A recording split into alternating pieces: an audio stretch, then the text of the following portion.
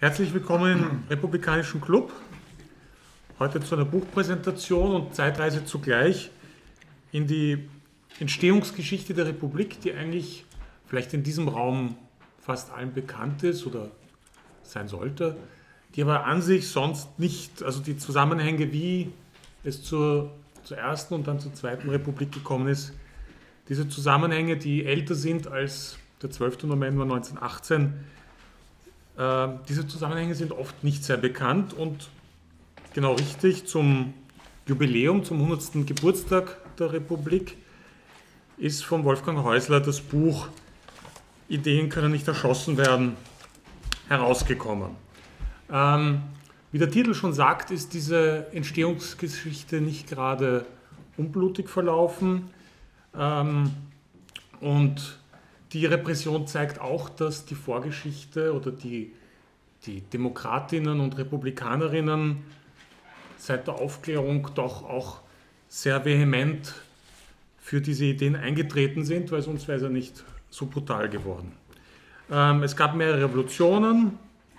Ähm, eine hat funktioniert, das war die von 1918, eine hat nicht funktioniert, das war die von 1848 und eine wurde sehr ähm, imitiert oder quasi bewundert, also imitiert im kleineren Sinn, und das war die Französische Revolution von 1789, wo, also in Frankreich in, im, im, republikanischen Verständnis äh, quasi äh, sehr vieles in den Alltag Einzug äh, gehalten hat. Also dort äh, gibt es quasi, kann man republikanisch heiraten oder konnte schon sehr früh republikanisch heiraten.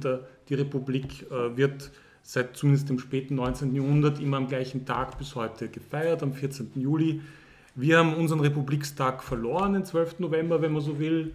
Also, ähm, aber wir werden gleich mehr darüber hören. Ähm, kurz zu Wolfgang Häusl und warum er gerade im Republikanischen Club, ich meine, es gibt viele Gründe, aber eigentlich einen, einen sehr, ähm, eine spannende Vorgeschichte, die, die parallel zur Entstehung dieses Buchs gelaufen ist.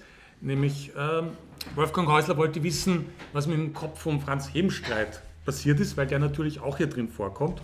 Und wir ja 2010 äh, gemeinsam mit den Wiener Vorlesungen von Christian Ehalt äh, versucht haben, den Hebenstreit äh, wieder in Erinnerung zu führen und sein, sein, sein Kreis oder seine Kreise oder die Kreise, die damals in den 1790er Jahren äh, die Idee der Republik oder zumindest der parlamentarischen Monarchie oder wie auch immer konstitutionelle Monarchie vertreten haben und dafür auch eingesperrt wurden. Ähm, ich wusste so vor ein paar Monaten nur ungefähr noch, also der Kopf war ja sehr lange im Kriminalmuseum ausgestellt, also quasi, wenn man so will, der erste Republik, also dezidierte Republikaner der, in Österreich, Franz Hebenstreit, hingerichtet für seine Ideen im Jänner 1795, hier gleich da vorne am Schottentor, äh, dem sein Kopf war im Kriminalmuseum. Muss man sich vorstellen, also in der Republik ist der erste Republikaner nicht im Pantheon wie in Frankreich, sondern im Kriminalmuseum. So, äh, dort ist er nicht mehr, aber er ist noch im Besitz des Besitzers des Kriminalmuseums und sie haben inzwischen herausgefunden, äh, ähm, wo das ist äh, oder wo der gelandet ist. Scharnstein, Oberösterreich, da gibt es im Schloss nicht ein Kriminalmuseum und Herr Oehlinger äh, Wien-Museum hat mich darauf aufmerksam gemacht. Es ist jetzt Winterszeit, aber wir werden der Sache nachgehen. Ja, also die Idee war ja immer ein Ehrengrab für, für Franz Hebenstreit. Herr Seierl war also nicht auskunftsbereit. Das ist der, die, so. das ist der Inhaber ja. des, des ja. Kriminalmuseums, der Herr Seierl. Ähm, kurz, also die meisten von Ihnen werden eh äh, Wolfgang Häusler kennen. Ähm, seit den 70er, 80er Jahren quasi äh, also Bilder zeigen mehr als Worte, seine Habilitationsschrift zur sozialen Vorgeschichte der Märzrevolution 1848, also dass das halt, äh, dass die Barrikaden äh, nicht einfach nur aus dem Nichts kamen, sondern dass da auch sehr miese soziale Umstände dazu geführt haben, dass sehr viele Menschen in Wien diese Revolution unterstützt haben, vor allem die Armen, aber auch dann, aber da werden wir gleich mehr erfahren, äh, nicht, nicht nur Verbündete hatten bei den anderen Revolutionären.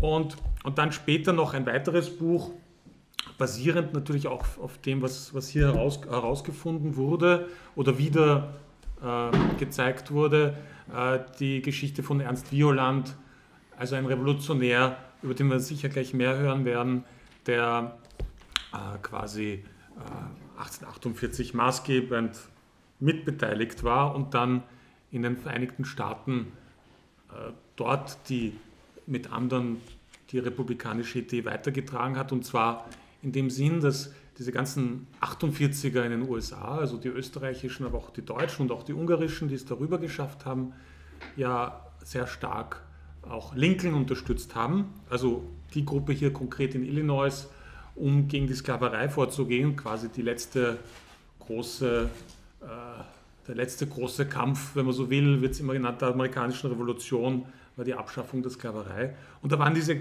ganzen Wiener Revolutionäre ja auch nicht unbeteiligt. Ja. Ähm, soweit zur Vorstellung. Ähm, vielen Dank fürs Kommen und wir haben jetzt ein, ich lehne, also ich lehne mich jetzt zurück, ein sehr schönes Referat und Zeitreise. Danke, Herr Kollege. 1789, 1848, 1918. Die Jahreskennzahlen meines Buches über Revolution und Demokratie in Österreich stehen in einem welthistorischen Rahmen.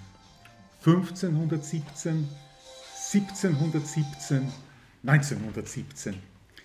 Diese runden Säkularerinnerungen, 500 Jahre, 300 Jahre, 100 Jahre, haben wir glücklich hinter uns gebracht im vergangenen Jahr.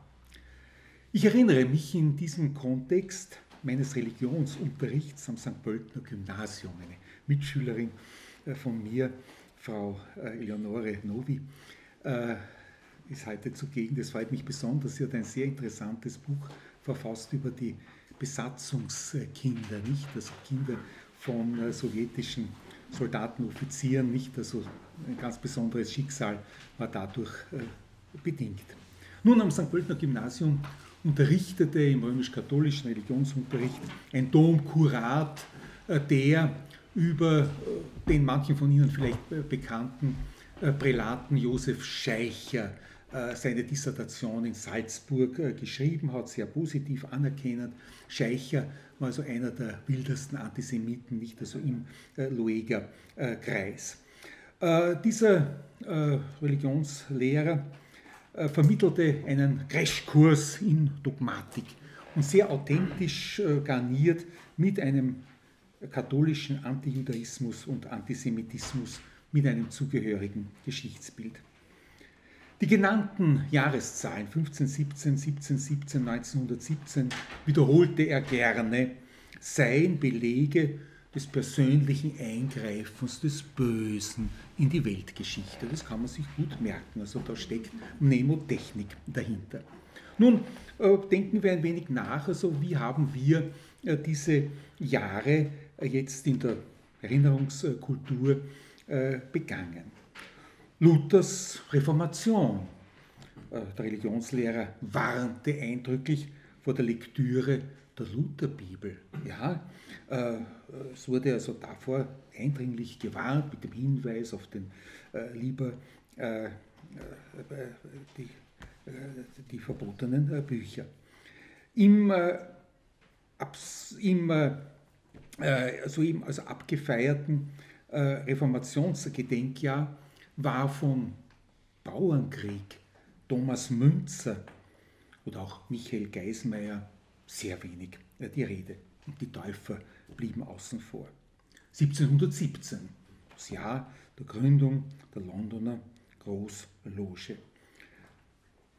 Eine kulinarische Ausstellung in der Nationalbibliothek hat stattgefunden äh, mit einer sehr merkwürdigen Auslassung äh, des äh, politischen Aspekts. Die freimaurische Theorie und Praxis wurde zwar also im kulturellen Bereich aufgefächert, aber die praktisch gewordene Aufklärung und eben diejenigen, die hier auch also das Thema gewissermaßen die geistigen Hausherren sind, die kamen nicht vor bei dieser Ausstellung, die österreichischen Demokraten oder Jakobiner genannt, als ob ein Ernst Wangermann, ein Walter Grab, ein Schuh äh, über Hebenstreit, ein Körner über Riedel, ein Kollege Emanueli niemals dazu geforscht und geschrieben hätten. 1917, da wurde die einst sogenannte große sozialistische Oktoberrevolution zum kriminellen Putsch von Randfiguren der Geschichte gemacht. Die jüngste äh, Fernsehdokumentation war also ein erschreckendes Beispiel und man sehnte sich gerade zurück. Noch einer den älteren von Ihnen vielleicht noch in Erinnerung befindlichen Dokumentationsserie des Helmut Anditsch. Also die hat weitaus Bedeutenderes geleistet, als was da heutzutage oder im vergangenen Jahr zustande gekommen ist. Nun 1917, äh, Papst Franziskus, durchaus achtbar als Kritiker der tötenden kapitalistischen Wirtschaftsordnung. Sie kennen dieses Zitat aus der Enzyklika Evangelii Gaudium, mobilisierte 1917, 2017 die Privatoffenbarung an die Kinder von Fatima. Ja, das ist er seinem Amt äh, offenbar schuldig. Ich widerspreche äh, diesen Reduktionen mit äh, Thesen, die ich zur wissenschaftlichen Vorbereitung des mittlerweile redimensionierten Hauses der Geschichte Österreich mit diesem etwas sperrigen Nominativ formuliert habe. Ich kann Ihnen diese Thesen jetzt also nicht im vollen Wortlaut also vortragen. Ich stelle sie nur ganz kurz vor. Sie haben keinerlei Beachtung gefunden. Sie wissen ja, dass, wie gesagt, redimensioniert in äh, einem doch also sehr beschränkten Rahmen dieses große und bedeutende äh, Projekt abgehandelt werden äh, wird. Es war geplant, also eine Vorlesungsreihe, nicht also über Epochenbegriffe, über Schwellenjahre. Freund und Kollege Ehalt hat also hier große Vorarbeit geleistet, Oliver Radkolb war da dabei. Das ist alles nicht zustande gekommen.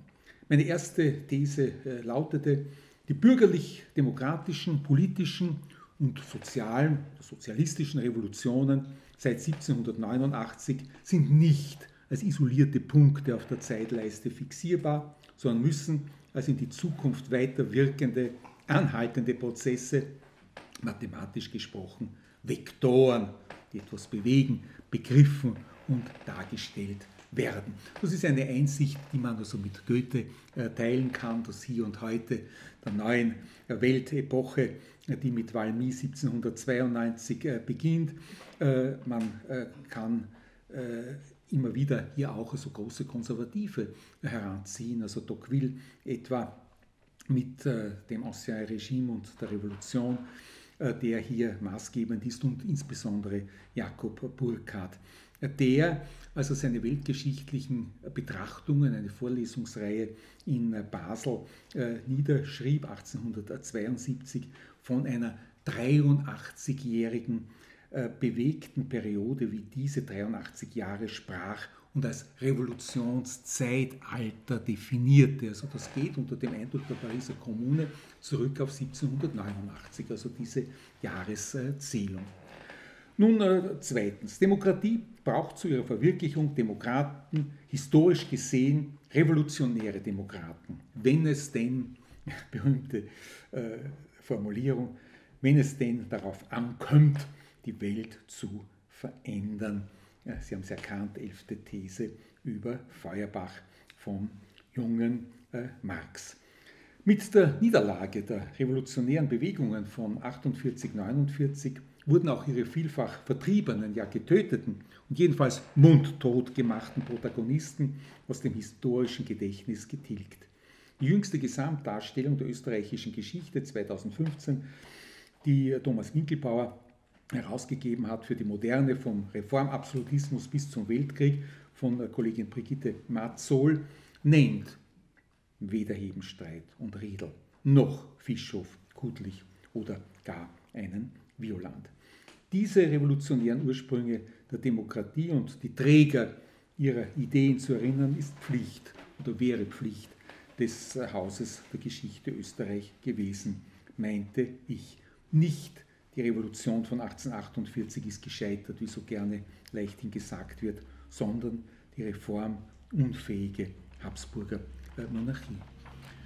Die Habsburger Monarchie als Monarchia Austriaca der pragmatischen Sanktion, Kaisertum Österreich seit 1804 in der Tradition des 1806 endenden Heiligen Römischen Reiches als österreichisch-ungarische Doppelmonarchie 1867 konstruiert, ist nicht allein traditionell imperial, wie so gerne in der Öffentlichkeit äh, dargestellt, sondern auch als modern imperialistisch äh, zu verstehen. Ich verwahre mich und soweit ich konnte, habe ich das immer äh, bekämpft, dass so erfolgreiche Buch oder die Thesen von Christopher Clark, nicht also die Schlafwandler, ja gewiss das auch, nicht, aber dass man da so unschuldig nicht also irgendwie in den Krieg hineingetaumelt wäre, das stimmt meiner Meinung nach nicht. Die Habsburger Monarchie hatte äh, durchaus reale imperialistische äh, Zielvorstellungen, die insbesondere auf den Balkan äh, zielten. Nicht, also man denke auch daran, also an die äh, Kriegsvorbereitungen, äh, wie sie Konrad von Hötzendorf in den Jahren also vor dem Weltkrieg getroffen hat, die Anteilnahme nicht, also an Albanien nicht und was also aus der Bosnien-Herzegowina-Krise geworden ist, beziehungsweise auch also das weit ausgreifende Interesse am äh, vorderen äh, Orient, wo ja auch äh, österreichisch-ungarische äh, Truppen im Ersten Weltkrieg, also etwa mit schwerer Artillerie vor Gaza, das weiß ja kein äh, Mensch mehr, an der Seite der deutschen Verbündeten gekämpft haben. Also das ist, glaube ich, doch also ein Thema, über das man auch nach 1914 immer noch diskutieren muss. Horkheimers ernstes Wort vom Schweigen über Kapitalismus und Faschismus, meine ich, ist weiter zu denken. Entfesselter Kapitalismus erscheint fernab jedweder Kritik der politischen Ökonomie als noch möglicherweise mit dem Attribut sozial versehene, deregulierte Marktwirtschaft, neoliberal und globalisiert, zuletzt als Weltwirtschaft 4.0 digital installiert. Nun, äh, das sind Dinge, die ich hier jetzt also nicht weiter ausführen äh, kann, aber ich möchte doch also die Aufmerksamkeit darauf lenken. Nun fragen wir, was ist Demokratie, äh, wie wird sie verstanden, wo schlägt man nach? Sie kennen alle Büchmanns schönen Band über die geflügelten Worte, nicht die Zitatensammlung. Da gibt es also nicht viele, gerade zwei Zitate in der deutschen Sprache äh, zum Begriff äh, Demokratie. Das eine ist Ludwig Uhland, nicht das über Deutschland. Möge äh, kein Haupt leuchten, das nicht mit einem Tropfen demokratischen Öls gesalbt ist. Nun das Pathos nicht von 1848. Ludwig Uhland, Sie kennen den Balladendichter des Sängers Fluch. Das ist eine ordentliche antifeudale Ansage, nicht? Also noch eine hohe Säule zeugt von versunkener Pracht. Auch diese, schon geborsten, kann stürzen über Nacht. Also Uland war ein demokratischer Kämpfer, nicht also Mitglied des Frankfurter Paulskirchenparlaments und äh, hat auch noch nach dessen Sprengung bzw. Verlegung nach Stuttgart als einer der letzten, nicht also dieser parlamentarischen Idee, äh, die Treue gehalten. Und der alte Mann, nicht also ein Abgeordneter äh, von Württemberg, seiner württembergischen Heimat äh, Tübingen, äh, trat mit geöffnetem Rock nicht, also den Bajonetten der preußischen äh, Besatzer entgegen. Das war Ludwig Uhland, den wir alle aus dem Lesebuch so gut kennen, aber dieses sein politisches Engagement ist so wenig bekannt. Ein guter Kamerad der Demokratie. Nun finden wir noch ein zweites Wort, ein böses, von Junkern und Offizieren geprägtes Wort, des Preußenkönigs Friedrich Wilhelm IV. gegen das Frankfurter Parlament, dessen Delegation, darauf bezog sich auch also Ulands Wort, äh, ihm die deutsche Kaiserkrone angeboten hat. Nicht? Also man reiste nach äh, Berlin und äh, äh mit einigermaßen höflichen Worten, nicht? Also hat äh, Friedrich Wilhelm IV. Äh, das abgelehnt er schwankte ja sehr in seinen Meinungen, nicht? er hatte manchmal so romantische Anwandlungen, aber er hat sich also der schroffsten äh, Gegenrevolution äh, verschrieben und in seinem internen Kreis sprach er das böse und hässliche Wort gegen Demokraten helfen, nur Soldaten, adieu. Das hat ein, ein Herr von Merkel, nicht also ein Junker und ein Oberst von Griesheim, in die Welt gesetzt, so ein Gedicht, wo das also der Refrain gewesen ist, gegen Demokraten helfen nur Soldaten. Krasser noch allerdings eine Stimme aus dem jahrelang unter Kriegsrecht gestellten Wien, vom Schmutz Republikaner, vom Unflat Demokrat, fegt rein das Sereschaner, befreite der Kroat. Verfasser dieses üblen Vierzeilers ist Josef Weil mit Y, W-E-Y-L, Polizeibeamter und humoristischer Hauspoet des Wiener Männergesangvereins. Auch der erste läppische Text des Donauwalzers stammt von ihm. Wiener, seid froh, oho, wieso, ein Schimmer des Lichts, wir sehen doch nichts, ei Fasching ist da, äh, äh, ach so, naja. Also das äh, ist also dieser Text, den man dann ja äh, zugunsten einer anderen äh, Textierung von der schönen blauen Donau zurückgenommen hat. Das war Josef Weil beim 150-jährigen Gedenken, also voriges Jahr, das war eine Reaktion ja auf 1866, wurde das doch auch wieder in Erinnerung gerufen. Allerdings nicht also das sonstige poetische Werk des Herrn Weil zu erwähnen.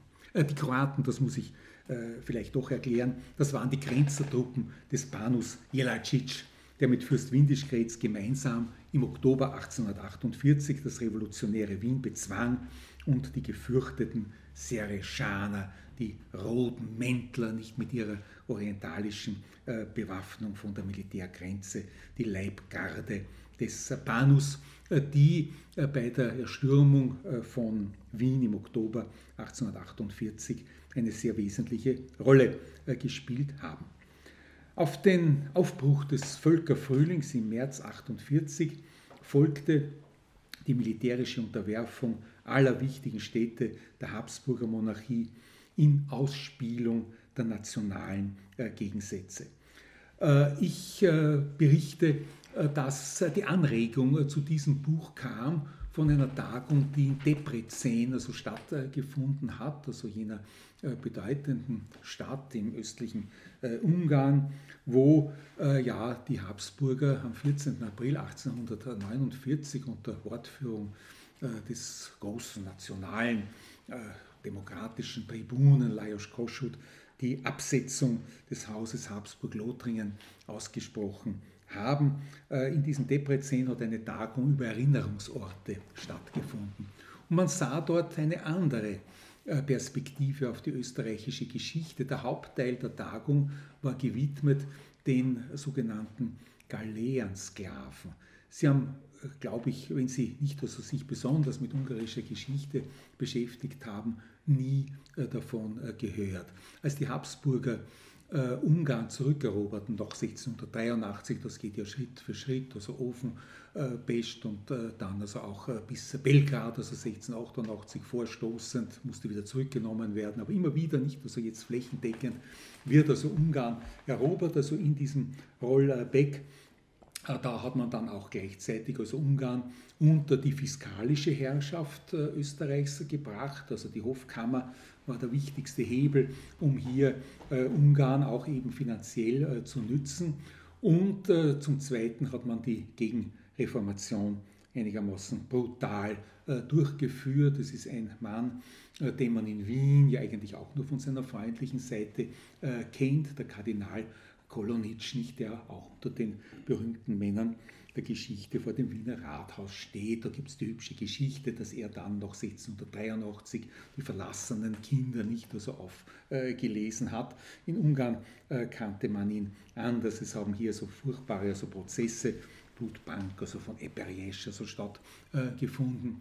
Und äh, man hat äh, protestantische Pastoren, also die sich nicht also beugen wollten, zusammengefangen und aufgrund also ihres Bekenntnisses äh, nach Neapel, nicht, also das war ja damals Spanisch, nicht, also unter einer äh, Dynastie, als Galeansklaven verkauft. Ja, also auch das äh, ein Beitrag nicht also zur habsburgischen Geschichte und Praxis. einige Galeeren also wurden aufgebracht von dem holländischen Seehelden, dem Admiral de Ruyter, nicht? Also jeder Niederländer kennt den. Und die befreiten Pastoren wurden nach Ungarn zurückgebracht und in Debrecen also steht ein Denkmal, da sieht man also so eine äh, Galeere, nicht das im Relief also abgebildet. Und es stehen also drei Dutzend Namen äh, dieser wiederum befreiten Galeerensklaven. Nicht? Also das ist die ungarische äh, Perspektive auf die habsburg-österreichischen Geschichte. Das nur nebenbei und ein sehr netter Kollege hat mich aufmerksam gemacht, ja, machen Sie doch ein Buch drauf, Sie haben ein Buch daraus, Sie haben sich so viel damit beschäftigt und äh, beziehen sie also eben auch die ganze Habsburger Monarchie äh, mit äh, ein. Ich habe das getan, habe das versucht und liste Ihnen jetzt auf, wie auf den Aufbruch also des Völkerfrühlings im März 1848 die militärische Unterwerfung aller wichtigen Städte der Habsburger Monarchie erfolgte in Ausspielung der nationalen Gegensätze. Die hat es gegeben, nicht? Und gerade in Ungarn haben sich die ja äh, in ganz entsetzlicher Form also ausgeprägt. Das war sicherlich also ein Fehler äh, der ungarischen Revolutionäre, dass sie dieses Reich der Stephanskrone, äh, zu dem ja, ja die Hälfte, möglicherweise sogar mehr als die Hälfte, nicht ungarische Völker, die man dann Nationen nennen wird, gehört haben. Das war also jenseits des äh, Verständnishorizontes von Kossuth. Nicht? Also Ungarisch war die Sprache, Ungarisch war die, war die äh, Politik, Ungarisch äh, war die äh, Kultur. Erst post festum hat dann Kossuth auch bessere Einsicht äh, gezeigt. Ein äh, sehr wesentlicher Mann, den ich hier herangezogen habe, ist also Chandor Petöfi. Also ich habe ihm da also auch eine Illustration also gewidmet, die einzige heute eine Daguerreotypie, nicht also im Begriff des zornigen äh, jungen äh, Mannes, der an der Spitze äh, des 15. Äh, März, also dieser großen Volksbewegung in äh, Ofen und äh, Pest gestanden hat. Petöfi, dessen Nationallied jeder Ungar nicht also auswendig kann. Ich zitiere ein Gedicht, es trägt auch den Titel 1848. Nicht? Also sonst steht also nichts darüber, schon also aus dem späteren Jahr 1848. Äh, 1848, Stern der Völker, Morgenrot. Tag wird's, doch er kündet Tod. Tod der Nacht, der langen, jagt mit roten Wangen in die Flucht, die finsteren Schatten, droht mit düsterer Purpurglut aus den Augen der Nationen schreien Groll und Schmach nach Blut. Nicht, also Sie sehen am Anfang nicht, also die Begeisterung, also der Völkerfrühling nicht und, und äh, die große Hoffnung nicht, also dass es sozusagen Licht wird, also Auf, Aufklärung eintritt, aber aus den Augen der Nationen schreien Groll und Schmach nach Blut. Es herrscht also in der Tat also blutiger Bürgerkrieg die Habsburger und äh, die Militärs haben das äh, benutzt, um also den kroatischen Panus nicht also hier auch zu wiegeln, also gegen die Ungarn, äh, beziehungsweise dann also vor Wien ziehen bei den Slowaken, bei den Malachen, die sich als Rumänen zu fühlen begannen, bei den Serben hat es dann also ähnlichen Widerstand gegeben. Das ist die große Tragik der ungarischen Revolution gewesen. Aber kehren wir also zu den anderen Schauplätzen. Zu Ostern wurde Krakau bezwungen, also polnisch Österreich. Zu Pfingsten Prag durch Windischgrätz, der Prager Pfingstaufstand im Anschluss an den Slawenkongress.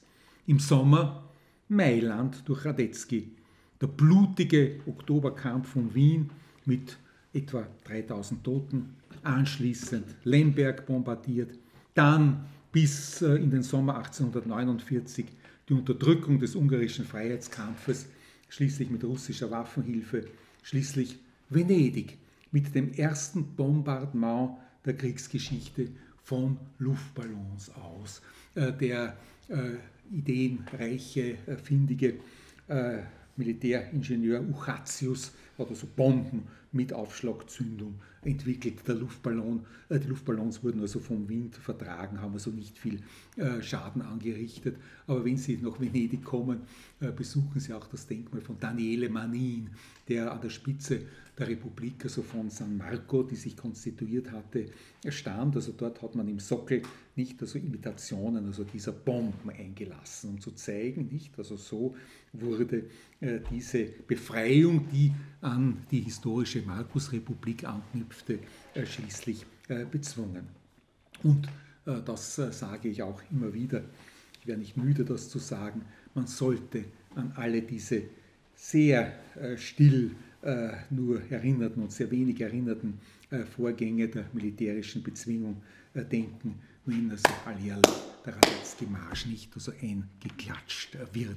Was mich erschüttert hat, aber das geht jetzt schon in den, in das, in den Bereich des Komischen beim Ball der roten Herzen äh, in Simmering, nicht, also der SPÖ, äh, der also gezeigt wurde im Fernsehen, weil jetzt die beiden äh, Kandidaten für, dies, für das Bürgermeisteramt einander gegenüberstehen, wurde auch also zum Entree, nicht, also der Radetzky-Marsch, nicht, also eingeklatscht. Das sind also seltsame Perversionen, die aber aus einer Ignoranz, nicht, also der Geschichte zustande kommen.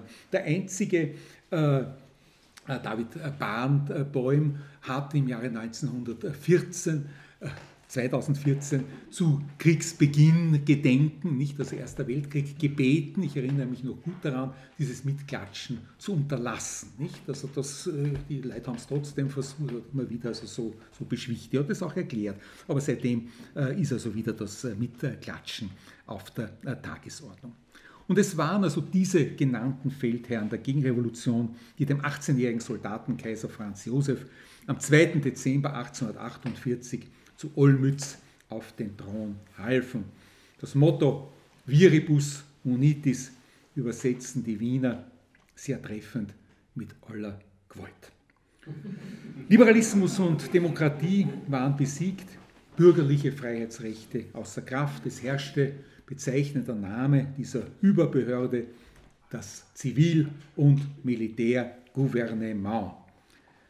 Alles was in einem verhängnisvoll verspäteten Prozess aufgrund der Niederlagen von Solferino und Königgrätz nachgeholt werden musste, war 1848 in Gang gekommen. Zurückdrängung des Feudalismus, sogenannte Bauernbefreiung, Verfassung, Parlamentarismus auf der Grundlage des allgemeinen Männerwahlrechtes, erste Organisationsformen der Arbeiterbewegung, Föderation der Völker im Sinne einer damals ausgesprochenen Gleichberechtigung der Nationalitäten, all dies wurde von blutiger Reaktion zerstört und gehemmt. Und allzu lange währte der Weg vom Untertanen zum Staatsbürger. Die Demokratische Republik der Gegenwart hat ihre Ursprünge vergessen. Öffentlichkeit und Wienbesucher werden mit einem ewigen Kaiser, so der Titel der Ausstellung in der Nationalbibliothek im Vorjahr, kakanischen Privatleben bis zu den äh, berühmten Leder- und Unterhosen seiner Majestät im Sisi-Museum in einem permanenten Habsburg-Recycling abgefertigt. In Ischl wurde der 100. Todestag von äh, Franz Josef, Todestag, bitteschön, 2016 als Kaiserjahr stilisiert. Dynastisch-patriotische Identitätsstiftung durch die Übermutter und Powerfrau, nicht dass alle diese Ausdrücke kamen vor, prägte das Jahr 2017. Wir sind Kaiserin in Kapitalbuchstaben, äh, so vermarktete die Münze Österreich ihre einschlägigen äh, Produkte. Und Sie haben vielleicht auch Dornhelms Maria Theresia äh, Produktion gesehen. Ich weiß nicht, dass ich halte Dornhelm für zu intelligent als dass er hier wirklich nur so eine Seifenoper und einen Kostümschinken also produzieren wollte. Äh, die ganze Sache war dann schon also eine, eine Selbstparodie und Selbstironie. Also eine einzige Szene, für die, die es gesehen haben, rufe ich da in Erinnerung, wie es darum geht, also dass Maria Theresia sich auf den berühmten Krönungsritt in äh, Pressburg, also anlässlich ihrer Krönung zum König von Ungarn, sie war ja Trägerin also eines männlichen äh, Titels, äh, vorbereitete und darauf einstellte, äh, begegnete ihr äh, in dieser Dornhelm-Produktion der prachtliebende äh, Nikolaus Esterhase, nicht also der Mäzen Josef Haydns, den wir alle äh, gut kennen, im Film, also ein Feschak, nicht? Also das war ja geradezu unglaublich, nicht? Also und er spricht also auf die äh, zukünftige Königin ein äh, mit äh, den Worten also komm. Und diese Worte bezogen sich darauf, dass er ihr Mut machte mit diesem Eusokom, dass sie sich in den Herrensitz setzt. Ja, also Maria Therese ist natürlich niemals also im Herrensitz gesessen, also undenkbar, nicht? Also auch Kaiserin Elisabeth hat das also nicht getan. Bewundernswert, nicht? Also bitte stellen Sie sich vor, also diese Damen, Damensättel, nicht? Äh, ist ja Blödsinn, nicht? Also ausgesprochener Blödsinn. Aber bitte, das wurde dann also äh, gezeigt, nachdem man auch sah, also wie sie äh, Franz Stephan nicht also beritten hat, also auch im, im Herrensitz. Es war wirklich also von einer unfreiwilligen oder möglicherweise also gewollten äh, Komik, also dieses äh, seltsame äh, Produkt. Nun aber äh, genug davon, also von diesen, naja, Blödheiten.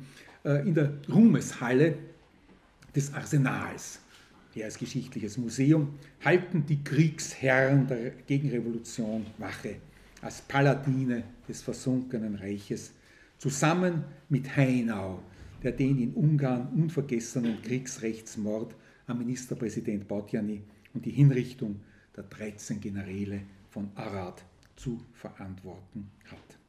Schlimmer noch, unangefochten stehen ihre Namen auf der Ehrenbürgertafel im Wiener Rathaus. Wenn Sie dort einmal zu einer Wiener Vorlesung äh, gehen, achten Sie darauf auf der Feststiege. Nun äh, kommen wir also zu den äh, ersten österreichischen äh, Demokraten. Die Berater und Beamten Maria Theresias und ihr Sohn Josef II. hatten durch europäische Machtkriege gezwungen, die Modernisierung des vielgestaltigen Reiches zur Staatlichkeit in Angriff genommen. Bürgertum konstituierte sich als führende Wirtschaftskraft des aufsteigenden Kapitalismus. Toleranzgesetzgebung, so rühmenswert sie ist, galt ja diesem Zweck. Also die protestantischen Großhändler, die äh, jüdischen äh, Herren tolerierten Bankiers, nicht also hier in dieses neue äh, System der Manufaktur und äh, des Bankwesens äh, zu integrieren. Bildung und Besitz vereint. In den Freimaurerlogen sammelte sich eine Gesellschaft gleichberechtigt Strebender. Aufklärung wurde praktisch. Der mächtige Impuls der französischen Umwälzung vom Absolutismus zur Republik verstörte den mit Napoleon fast gleichaltrigen Herrscher Franz. Als Kaiser des Reichs Zweite, als österreichischer Kaiser Erste, Neffe Josefs Zweiten. Einen ganz kurzen Blick muss ich denn doch auf äh, Josef äh, machen, der auch im äh, Buch also ausführlich gewürdigt wird, also der große Reformer dessen Denkmal Ihnen ja äh, vor Augen steht. Lesen Sie auch einmal äh, die Inschrift. Sie ist nicht nur deswegen interessant, weil hier sein Neffe Franz also mit dem Doppeltitel noch angesprochen wird, also in dieser kurzen Zeitspanne von 1804 und 1806 war er äh, ja, Kaiser des Heiligen Römischen Reiches und äh, Erbkaiser von Österreich. Äh, das ist aber jetzt nicht das Wesentliche. Äh, die wesentliche äh, Inschrift lautet Josepho Secundo, qui saluti publico vixit non diu sed totus. Ein gewisser totalitärer Anspruch, also wenn man das so formulieren darf, war hier gegeben, also dieser Gesamtanspruch nicht, also des Staates, nicht auf die Organisation der Untertanen, denen es gut gehen sollte, aber die eben entsprechend als äh, Steuerträger bzw. auch als Soldaten hier so dem Staatszweck äh, zu dienen hatten. Die Salus Publica äh, klingelt doch etwas, Komitee du Salut Public, nicht? Wohlfahrtsausschuss, das Gemeinwohl, also etwas ganz Merkwürdiges, was hier auch eben der französischen Revolution entgegengesetzt wird. Verfasser dieser Inschriften war ein Ex-Jesuit, also ein sehr kluger äh, Mann, äh, der hat Michael Denis geheißen aus Scherding. Bardendichtung hat er verfasst, also so im Stile äh, von Klopstock. Er hat einer der ersten also Schmetterlingsforscher in Österreich ist er gewesen, Begründer der Lepidopterologie, also so heißt die Schmetterlingskunde, also ein, ein interessierter und intelligenter Mann und er spricht also hier von der Salus Publica, nicht? Also diesem Gemeinwohl, äh, das ja auch in der Französischen Republik eine so große äh, Bedeutung äh, hatte, der Wohlfahrtsausschuss. Darüber sollte man also doch wirklich einmal sehr gründlich nachdenken, was es da auf sich hat. Reformabsolutismus beziehungsweise eben also der Anspruch, dass, dass das Volk selbst in die Hand nimmt. Schiller hat das abgelehnt. Sie kennen diese Stelle aus der Glocke. Wenn äh, sich die Völker selbst befreien, dann kann die Wohlfahrt nicht gedeihen. Nicht? Also Schiller, der Freiheitsdichter der deutschen Nation, äh, geht nicht so weit, also dass die Völker sich selbst befreien sollen. Und Sie kennen alle seine Ausfälle äh, gegen die französische Revolution, da werden Weiber zu Hyänen etc. etc. Also das waren die Grenzen, äh, die dem deutschen Freiheitsstreben zweifelsohne gezogen waren. Nun der Krieg mit dem revolutionären Frankreich an der Spitze einer europäischen Koalition, also seit 1792, verunsicherte den guten Kaiser Franz, der ja damals noch sehr jung war, als die Sache 1792 losging. Die Folge war eine radikale Kurswende vom Reformabsolutismus zum Obrigkeits- und Polizeistaat. Die Sympathisanten der französischen Revolution wurden als Jakobiner bezeichnet und als Staatsverbrecher verfolgt. Kaiser Franz selbst steuerte die Jakobinerprozesse 1794 bis 95. Der Wiener Magistratsrat Brandstätter wurde wegen seiner Vorliebe für das unselige Freiheitssystem, so die Anklage, zu 30 Jahren schwersten Gefängnisses in Eisen verurteilt. Er starb 1798 in der Festung Munkatsch an Entzündungen und Schwäche. Der ehemalige Mathematiklehrer des Kaisers, Andreas Riedel, wurde mit 60 Jahren Kerker bestraft. Er überlebte. Die französische Armee befreite ihn 1809 aus der Haft in Brünn. Sein Verbrechen war das Weiterdenken der Reformideen Josefs und Leopolds II. zu einem Volksstaat als Verfassung der Majestät des Volkes. Riedel erkannte die soziale Dimension und er träumte, hören Sie genau zu, eine Revolution ohne Schwertstreich, kein Thronsturz, kein Königsmord, so argumentierte er vor seinen Richtern. Naiv, nicht? Er hat geglaubt, er befindet sich da in einem Zirkel, also gleichberechtigter, äh, gleichgesinnter Intellektueller. Kein Königsmord. Wenn jemand von Revolution redet, sage ich Sansculottismus. Und was war hier gemeint? Man hätte meinte Riedel, bei dieser letzten Menschenklasse anfangen müssen. Und er bezeichnete äh, diese Anschauung als Hebenstreitismus oder Kommunismus. Dieser Begriff äh, kommt erstmals in deutscher Sprache im politischen Sinne vor. Der Offizier Franz Hebenstreit von Streitenfeld hatte ja in dem lateinischen Lehrgedicht Homo hominibus die Utopie einer auf den Communia beruhenden Gesellschaft entworfen und an die Unterschichten im Eipeltauer, äh, appelliert. Es ist ja das Volk kein Arschpapier und darf auf sich wohl denken. In diesem Kreise muss ich das, glaube ich, nicht weiter äh, zitieren. Vor dem Schottentor wurde Hebenstreit 8. Jänner 1795 stranguliert, welcher gedachte, die ganze kaiserliche Familie aus dem Wege zu räumen. So äh, das äh, Flugblatt anlässlich seiner Hinrichtung unter großem Volkszulauf. Gegen ihn als Militärperson wurde die Todesstrafe verhängt, ebenso über den ungarischen Kreis um äh, den gelehrten Ex-Franziskaner Ignaz Martinovic. Die Blutwiese Vermesö erinnert an die Budapester Hinrichtungsstätte. Die vertraulichen Akten der Jakobinerprozesse blieben im Kabinett des Kaisers versperrt. Erst 1878 wurden sie unter weiterer aufgetragener Geheimhaltung dem Haus Hof- und Staatsarchiv äh, übergeben.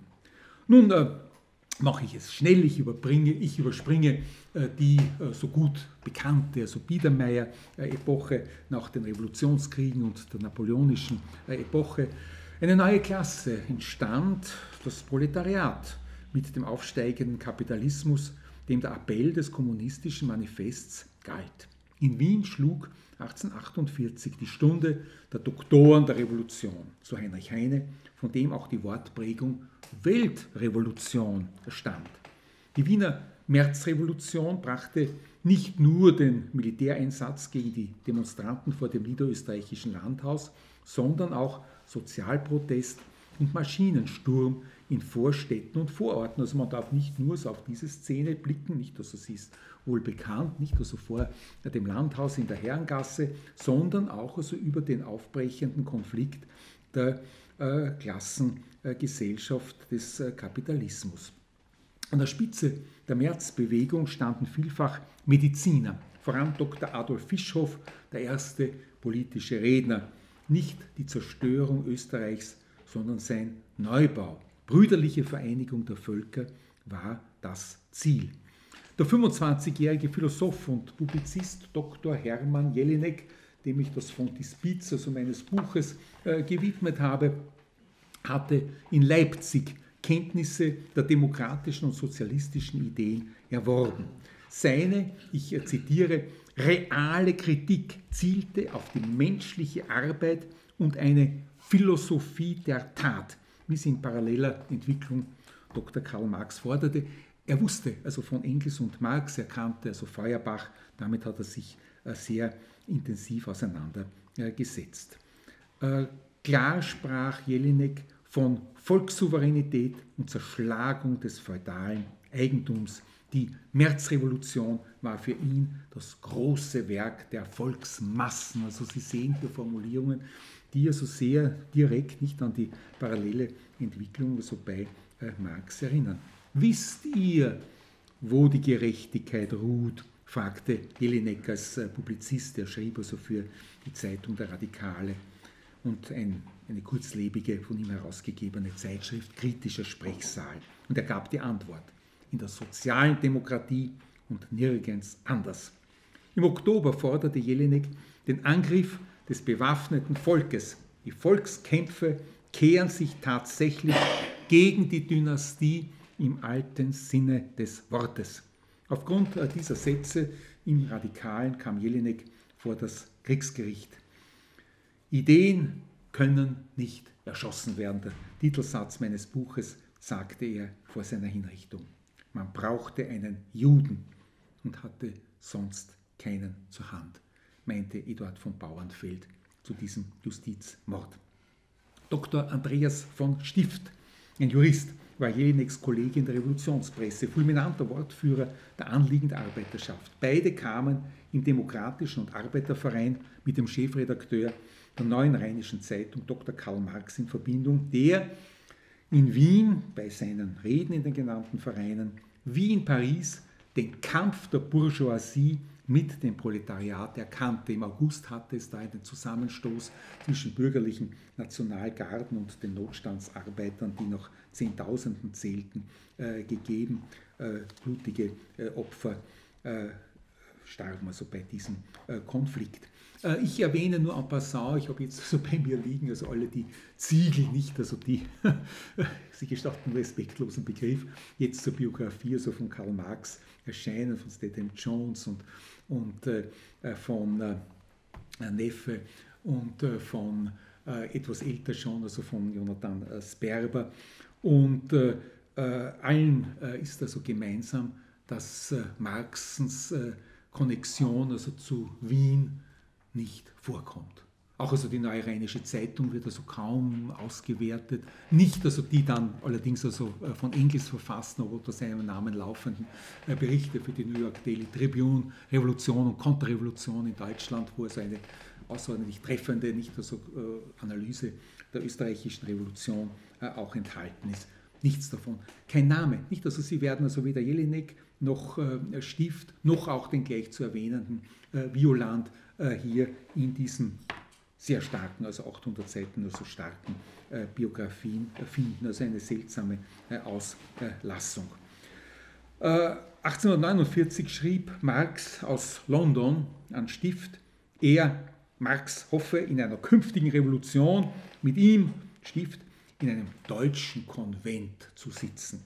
Eine Avance, die er sonst niemanden gemacht hat. Dann und als bedeutendster Dr. Ernst von Violand, tätig in allen revolutionären Körperschaften, vor allem im Reichstag bester Redner der Linken. Seine soziale Geschichte der Revolution in Wien sagte den Sieg der Demokratie durch die Arbeiterschaft voraus. Äh, Emanuele war so lieb, also diese, meine leider Gottes, also nur verkürzt, also herausgegebene Geschichte der sozialen Revolution in Österreich, äh, das ist also wirklich eine äh, Grundlagenschrift, äh, auch als äh, historiografische Tat äh, eine Inkunabel der revolutionären Sozialgeschichte. Wieland war im Verfassungsausschuss des ersten österreichischen Parlaments federführend. Die Grundrechte, namentlich das Prinzip der Gleichberechtigung der Nationalitäten, wie sie 1867 und noch 1920 in die Verfassung übernommen wurden, waren das Werk der verfolgten und vertriebenen 48er. Violand, in der Heimat zum Tod verurteilt, emigrierte nach der gewaltsamen Auflösung des Kremsierer Reichstags in die USA, wie sein Freund Hans Kudlich, der Bauernbefreier, der als Arzt erfolgreich in der neuen Welt wirkte und noch das Revolutionsjahr 1917 erlebte. Ich stelle dann also die Frage, wer soll denn in Russland Revolution machen? Das war also eine Lieblingsanekdote äh, von Bruno äh, Kreisky und diese überlieferte Äußerung stammte vermutlich von Graf Ottokar Czernin, 1916-18 Außenminister der österreichisch-ungarischen Monarchie, mit der Antwort, vielleicht der Herr Braunstein aus dem Café Zentral, nicht? Also soll in Russland Revolution machen. Der Scherz hat Realitätsgehalt. Bei seiner hastigen Abreise aus Wien zu Weltkriegsbeginn 1914 hatte Trotzki, der sich sieben Jahre in Wien aufhielt, der hat sich ja geradezu also eingewienert, ein Dutzend Bücherkisten im Eisenbahnerheim am Margaretengürtel hinterlassen. Da steht noch das Eisenbahnerheim, das ist also knapp so vor dem Ersten Weltkrieg.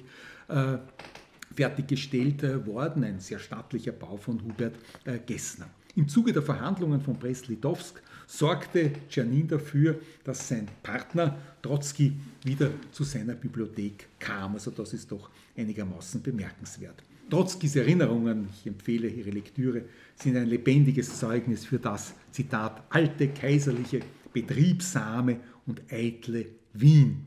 1895 und 1901 streifte Wladimir Ilyich Ulyanov, Lenin genannt, Wien.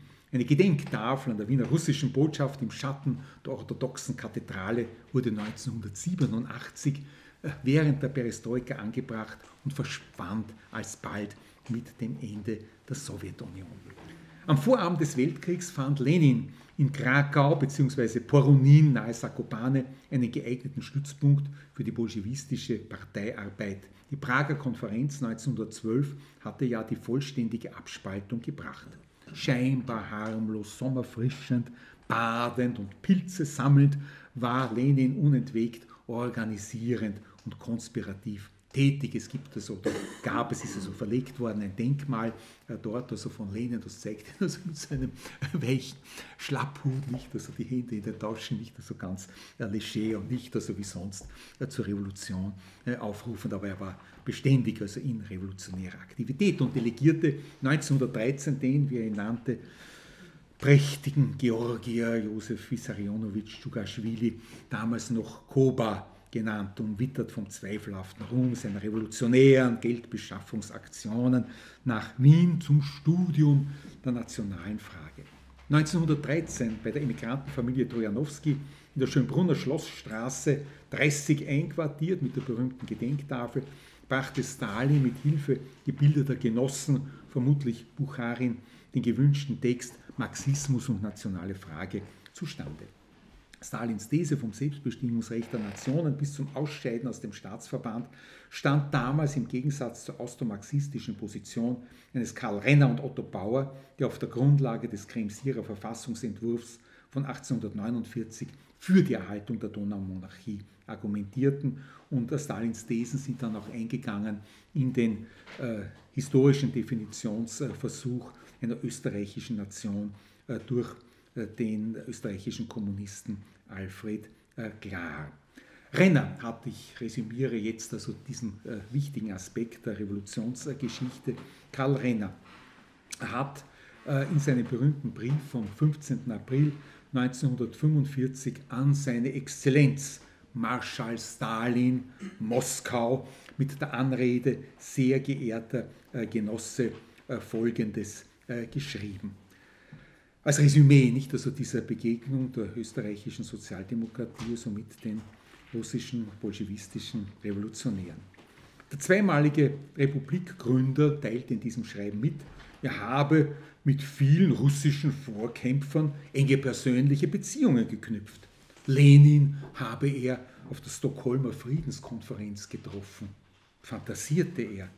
Mit Trotzki verkehrte ich durch Jahre seines Wien-Aufenthalts ständig, und dies stimmte, ist auch durch Trotzki bezeugt, mit Rasanow arbeitete ich gemeinsam in der Wiener Arbeiterzeitung, dass er von Trotzkis gewaltsamem Tod in Mexiko 1940 und von der Erschießung des großen Marx-Gelehrten Rasanow, nicht, also dem Beginner der Marx-Engels-Gesamtausgabe in Stalins Säuberung, nichts gewusst haben wollte, kann nur als Kutzpe des alten Fuchses, wie Stalin Renner nannte, gedeutet werden, in vorgetäuschter Naivität, gar Senilität sie hatte Erfolg, äh, wie wir aus der österreichischen Geschichte der Zweiten Republik wissen. Nun äh, muss ich also äh, zeitlich jetzt zusammenraffen, ein ganz wesentliches Kapitel.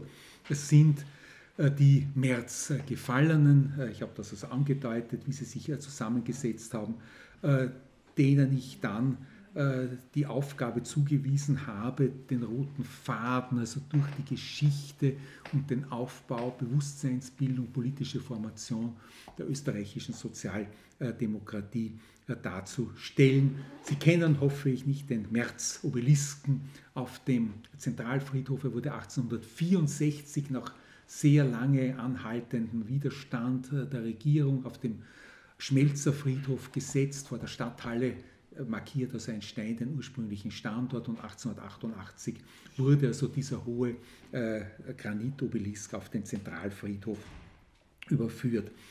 Äh, dieser äh, Markstein der bürgerlich-demokratischen Revolution mit ihren Widersprüchen, die ich angedeutet habe, wurde sozusagen also der Angelpunkt also für die Sozialdemokratie, die vom Bürgertum diese Tradition vollständig äh, übernommen haben. Noch 1881 waren Viktor Adler und der deutsch-nationale Georg von Schönerer gemeinsam am Grab des Feldkaplans der Akademischen Legion von 1848, Anton Füster.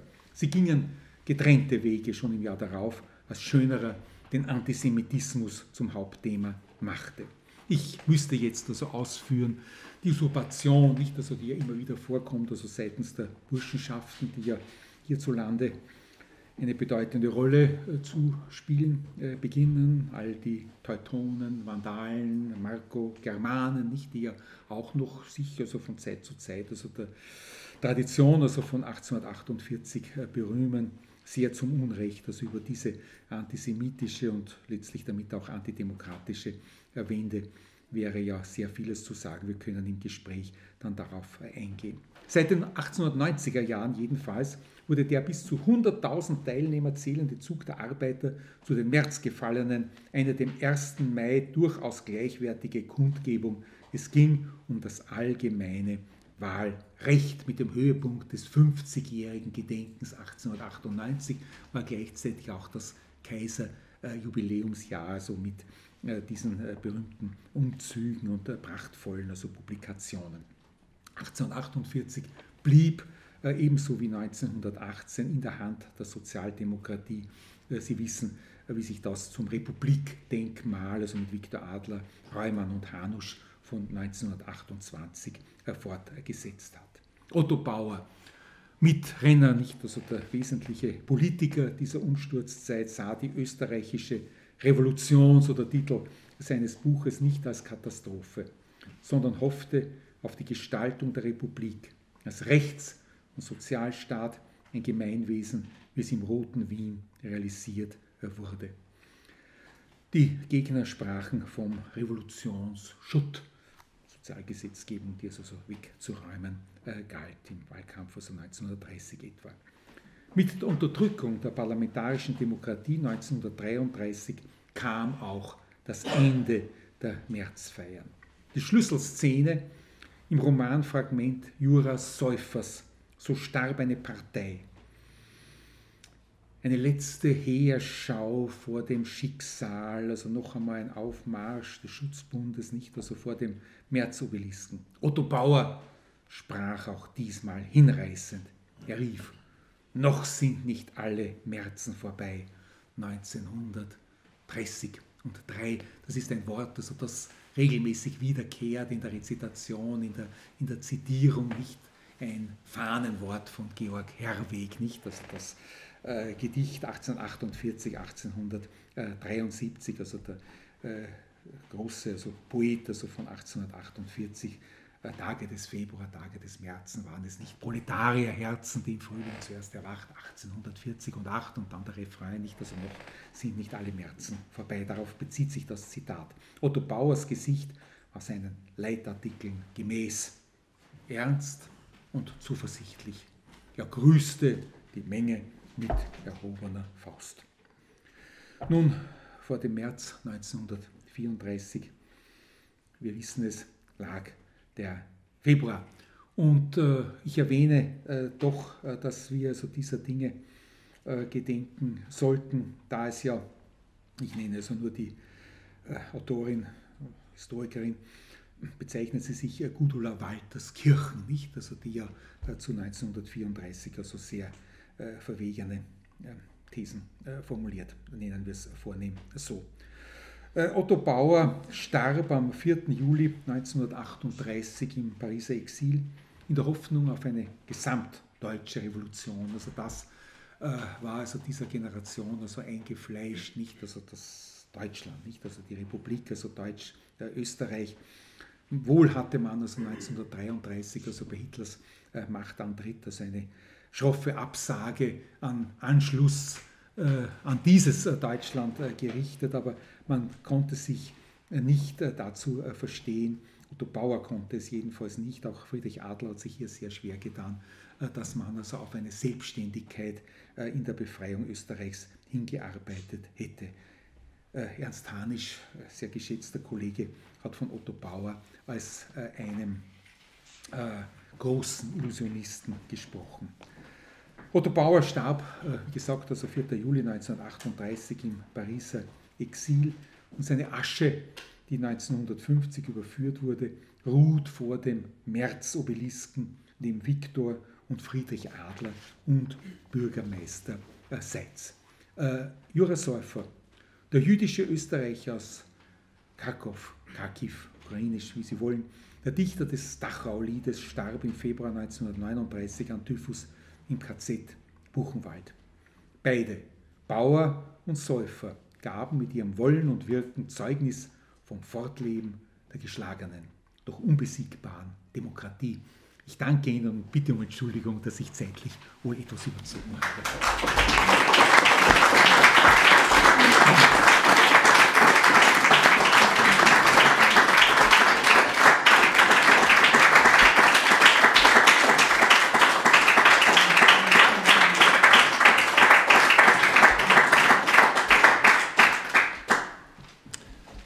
Vielen Dank für, den, für die Präsentation dieses noch ausführlicheren Buches, wo, wo viele Sachen drinstehen, die,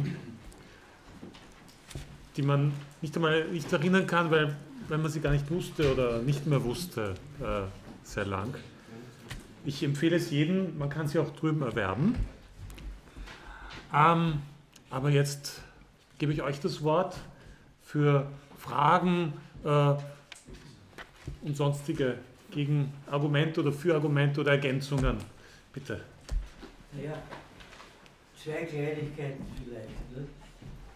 Es ist charakteristisch für das Umdenken der SPÖ, dass es nur nach sehr vielen Interventionen möglich war, an das März gefallenen Denkmal zu erinnern, das beseitigt wurde und bis heute weiß man nicht, wo es ist der Verein für Geschichte der Stadt Wien hat einen schönen Artikel darüber geschrieben, Alter vor 20 Jahren.